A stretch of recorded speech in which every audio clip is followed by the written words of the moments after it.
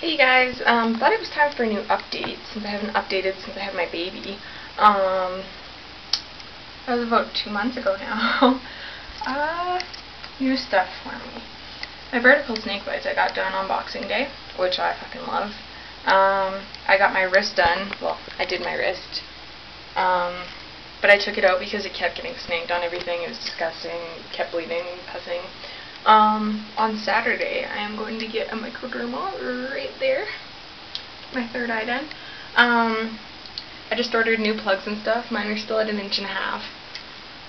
But they will be at an inch and five eighths very soon.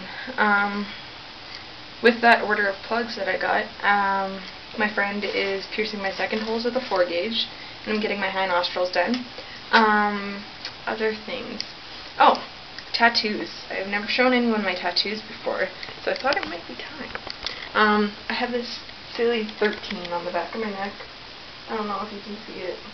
Um, but that's just this thing that they do at some tattoo places here, Friday the 13th. Uh, you go in 13 bucks, get 13 tattooed anywhere on your body, whatever. Um, that was my first professional tattoo, I guess. Um, I did one myself, and that's that one. Pin and Pin in Indian ink. Um, I'm getting that one fixed up. Actually, probably tonight.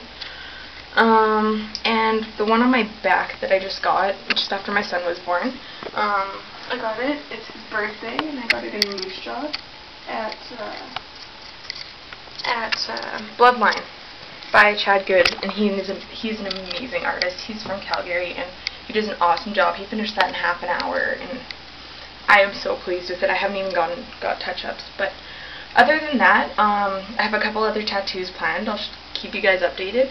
If you guys have any questions, you can just go ahead and ask me. Um, yeah, that's about it.